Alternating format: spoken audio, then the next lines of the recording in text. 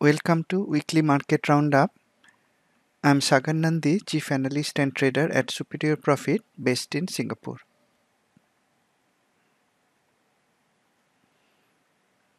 Let me go through the disclaimer first. This demonstration is for educational purposes only. It is designed to share information on Superior Profits trading system. The information presented here should only be used by people who are aware of the risk inherent in trading. Past performance is no guarantee of future return. Superior Profit is not an investment advisor. This session is not for any recommendation of buying or selling stock or any other instrument. Superior Profit will have no liability for any investment decision made by its audience. In today's session, as usual, First, I will look at oil and gold using technical analysis. They tend to impact related stocks. Then I will carry out a top-down analysis looking for potential trading opportunities. How do I do that? First, I look at the broad market. I try to align the trades with the market's direction. I will study the market's strength using NASDAQ and NYSE market breadth and technical analysis of the market ETFs. Once you understand the market strength, next step is to look for the sector industry rotation. Thereby you can align the trades not only with the market's direction but also with the strength or weakness of the sector and industry. I'll study that using sector industry scorecard. Once you identify a bullish market and then identify a strong industry in that market, next step is to look for a fundamentally strong stock in the strong industry. I can find that out using stock scorecard in a matter of minutes. And the last step will be to look for a low risk buy point. I can find such buy points easily using the unambiguous CUE charts and the CUE trade setups as I will demonstrate in today's session again. That was the last slide of the presentation. Let me start with the live system. I begin the commodities analysis using oil. I'm looking at the oil ETF USO using weekly backdrop chart template and daily hop on or entry chart template. Together I call this at a glance template because using this template you can decide if there is a low risk swing trade entry opportunity at the right edge in only a few seconds. In the weekly chart, oil is inside a triangle pattern bound by resistance memory trend line at the top, support memory trend line at the bottom. The weekly candle shape is bearish, the color is neutral. Because it is inside a triangle pattern, you may not take any swing trade until oil goes out of the triangle pattern. In the daily chart, price is going down. It has many memory resistance trend lines no support memory trend line. However, price is supported by this watermark support level. It is more bearish than bullish. You may not look for any bullish trade until USO can break out of this memory resistance trend lines. What about bearish trades? If price goes to one of these resistance lines, and reverses from there. Then you may look for a low risk shorting opportunity. Gold ETF GLD oil was more bearish than bullish and gold is clearly bullish. It is moving opposite to oil. The weekly candle color is bullish the shape is mixed because it has both upper as well as lower tail.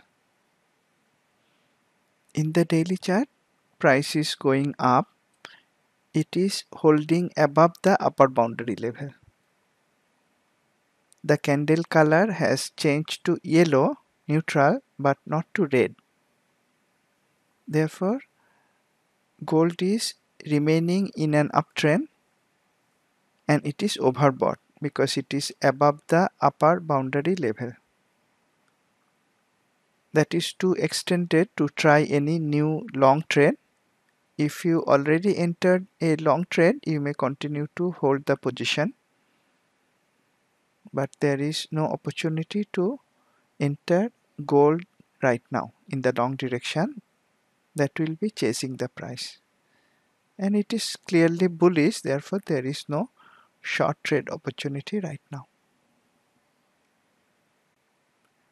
After commodities analysis, I start with the top-down analysis starting with the market level.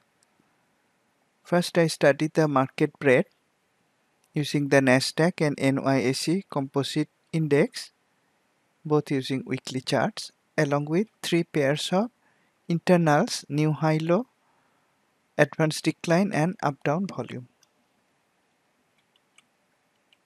This market breadth study tells you what is going on inside the market, something that may not be immediately apparent from a study of the market futures or the market ETFs. Both Nasdaq as well as NYSE recovered from the week's lows. However, the traffic light candle color is remaining red that is bearish. Nasdaq bounced up from the memory support line for two successive weeks. This week's candle shape is indecisive. NYSE candle shape is also indecisive.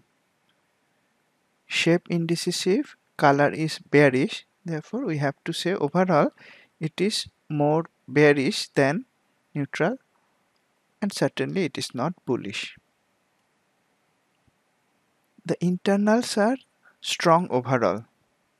Only one of the internals that is Nasdaq new high low closed below zero.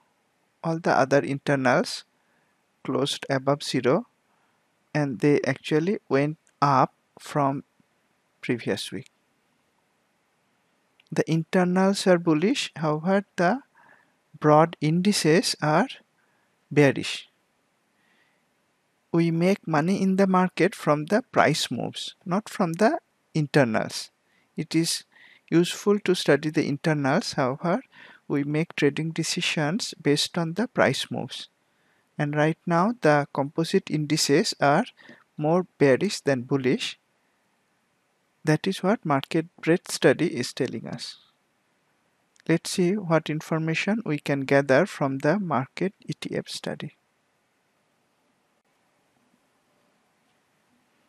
S&P 500 ETF SPY using CUE at a glance weekly daily template. I use these headwind signals, possible reversal signals to be aware of possible market reversal. When I saw these bearish headwinds coming, in SPY and they appeared in other market ETFs also.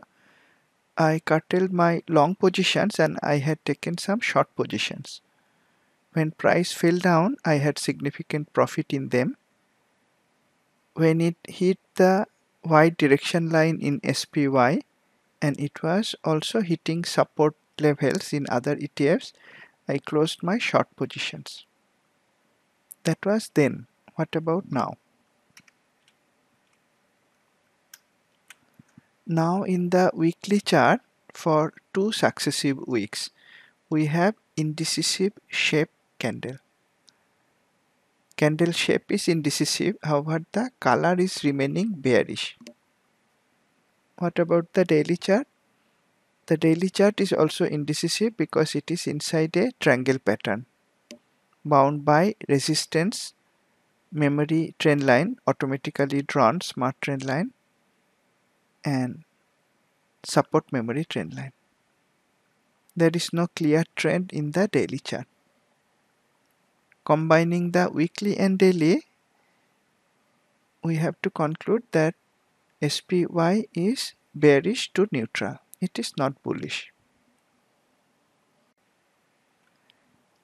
Nasdaq ETF QQQ it is showing a very similar picture as that of SPY. In the weekly chart we have indecisive shape candle for two successive weeks however the color is remaining bearish magenta and in the daily chart it is inside a triangle pattern that is without having any clear direction in the daily chart. Dow Jones Industrial Average ETF DIA. Here again we have indecisive shape candle in the weekly chart. The color is bearish. Price closed below the weekly memory support line. The relative performance line is tilting down showing it is underperforming the market. The daily is showing no clear direction it is again inside a triangle pattern three of the four market ETFs are not showing any clear trend. What about Russell 2000 ETF IWM Russell 2000 ETF IWM this is also underperforming the market. We can see that from the relative performance line tilting down. Once again we have indecisive shape candle in the weekly chart for two successive weeks. The color is remaining bearish. This is one ETF where it is not inside a triangle pattern in the daily chart. It is going down with lower high and lower low therefore it is in a downtrend. IWM is the weakest of the four market ETFs that I have been mentioning for several weeks and in the previous market roundup I mentioned that if the market dropped then IWM might give the easiest shorting opportunity. In fact you could take a short trade on this day when the daily chart gave a magenta color candle. The weekly was already magenta therefore you had a kind of go with flow trend following short trade opportunity in IWM on this magenta color candle. After that price drop and you could book profit on Thursday as price hit the watermark support level and bounced up from there. In fact on Thursday on my Twitter page I mentioned that the ETFs SPY, QQQ, DIA and IWM all were holding their support. SPY, QQQ, DIA were holding on to their memory level support and IWM was holding on to the watermark support. That was the time when you could exit the IWM short position with a nice profit. Market breadth was more bearish than bullish market ETFs are also more bearish than bullish. Do we have a bullish picture at the sector level? Not really. Here I am studying sector performance across three review periods. The red bar represents performance of this week, green bar performance of the previous week and blue bar performance of two weeks before that. Any bar coming to the right of the zero line shows the sector went up any bar coming to the left of the zero line shows the sector went down. Which sectors are up this week only two. Utilities and consumer staples. Consumer staples is up by a very small percentage. Both of these are defensive sectors. All the other sectors are down and by significant percentages. Energy continues to be one of the worst performers. Over last 4 weeks, it is down by a massive 16% plus. You could see this weakness from the CUE sector scorecard in real time and take appropriate trading decisions. overall this sector performance is clearly bearish. This is another view of the sectors using scorecard and heat map. Here I look at the sectors across 12 monthly review periods and then more frequently over recent periods 10 day, 5 day, etc. Cyan represents strength and magenta represents weakness. Utilities and consumer staples are the strongest sector now. Those are the only two sectors that went up this week. Consumer staples went up by a very small percentage. The weakest sectors are energy, consumer discretionary and materials.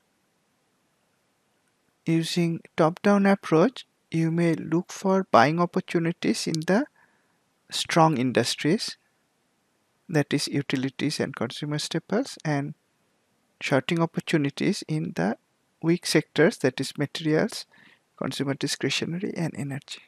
However the overall market is more bearish than bullish. This is not the time to look for buying opportunities. Is it the time to look for shorting opportunities? Not really. Why?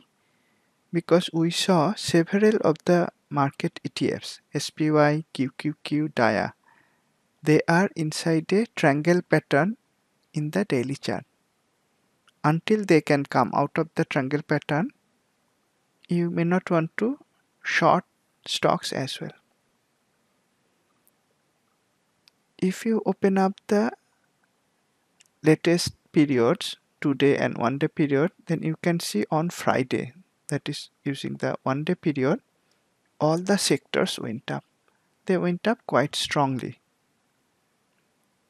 Which sectors went up most? These are energy and materials. The two sectors that were weak for a long time. Energy went up very strongly over today and one day and materials went up strongly over Friday.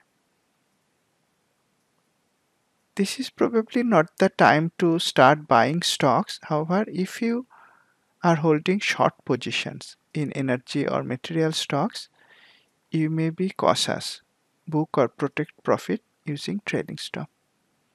And if the strength continues in energy and materials, then you may look for bottom catching opportunities. In what kind of stocks? Stocks that are fundamentally strong they will most likely be strong in terms of valuation.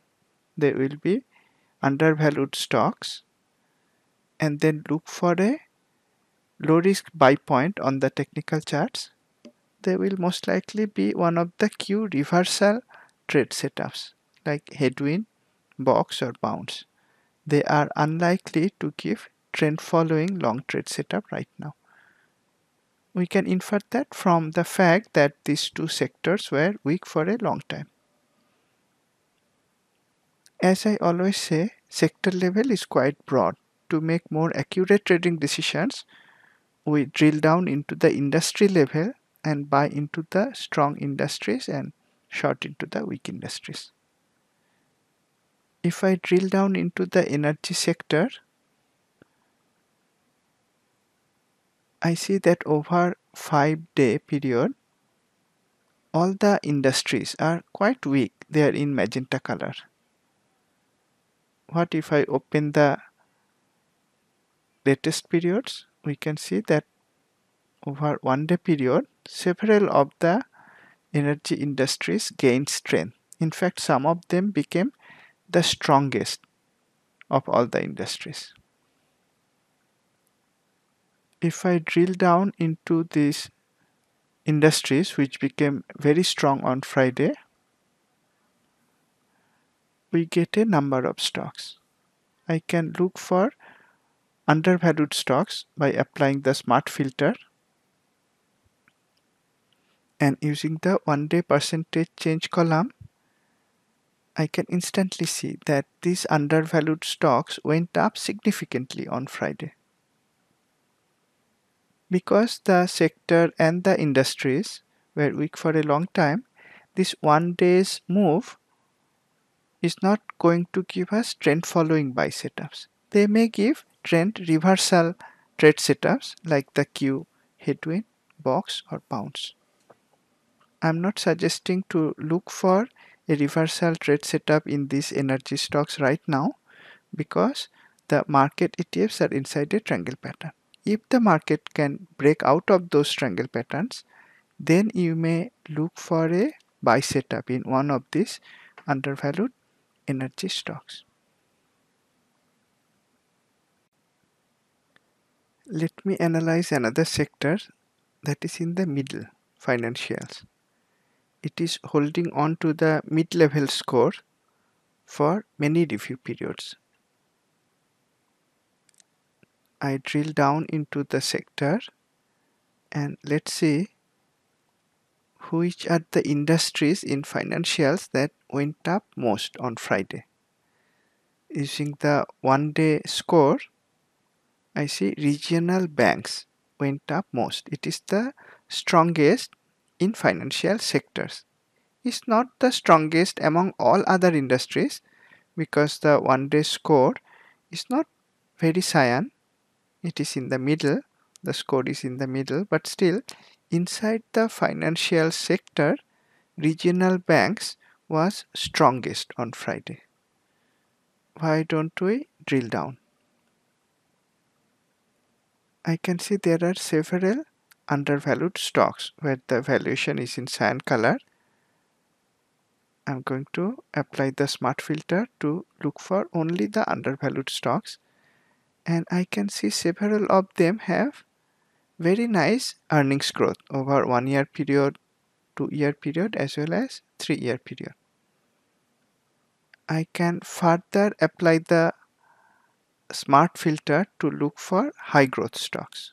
Now I am left with only five regional banks which are undervalued and are having excellent earnings growth over one year, two year as well as three year periods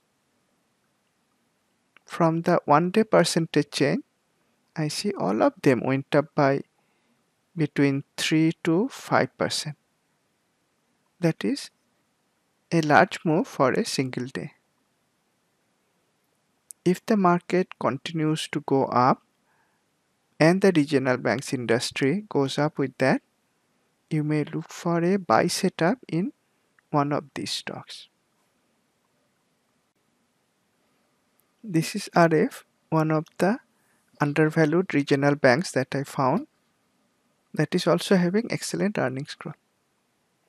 I'm looking at RF using the standard CUE weekly daily at a glance template. In the weekly, it found support at the memory trend line. In the daily, it found support at the watermark support level. RF displayed a bullish headwind earlier at this point from where price could go up.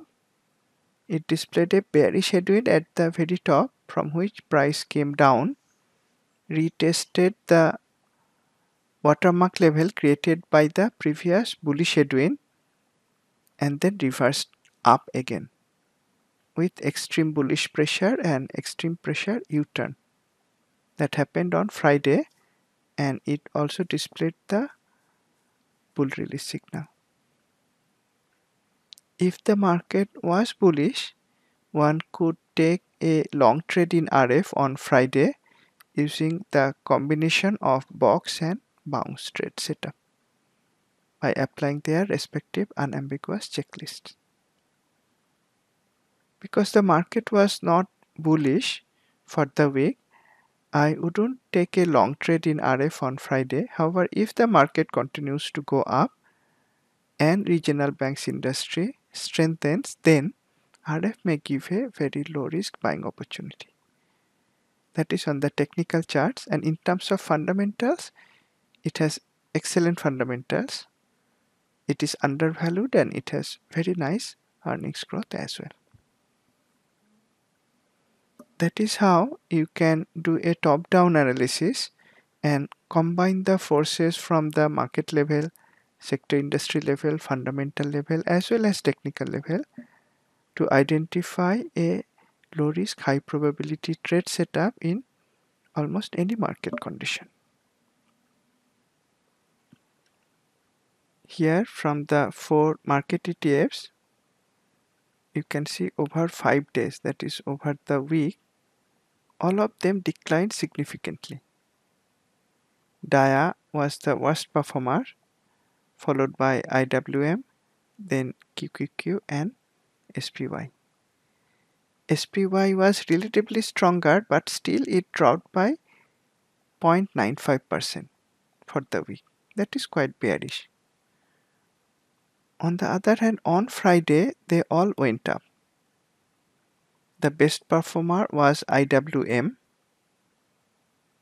and all of them went up by more than 1%. Though Friday was bullish, overall the week was bearish. Let me summarize. One week ago in the previous market roundup, I analyzed the market outlook as bearish to neutral. Since then, price indeed dropped. The market ETFs found support either at memory support level, trendline support level, or watermark support level and went up on Friday. What is the market direction now? It is indecisive because three of the four market ETFs are inside triangle patterns. In this situation, it may be best to avoid entering new trades. If the market continues to go up, then there are several stocks that may give low risk buy setups. You may find some of them in beaten down energy stocks. We saw several of them went up strongly on Friday, and you may find some of them in other industries as well, like regional banks again we saw there are several strong fundamental stocks in regional banks that went up strongly on Friday. Whatever be the market condition by using CUE360 degrees analysis where you combine the market level outlook with the sector industry force, fundamental force and technical force, you are always able to find low risk high probability trade setup. That is all that I plan to share in today's session. Thank you for attending. I look forward to seeing you in my next session. You may also join the weekly live market meeting webinar that I conduct. You may register for that from our homepage. Thank you once again. Have a great week and trade profitably.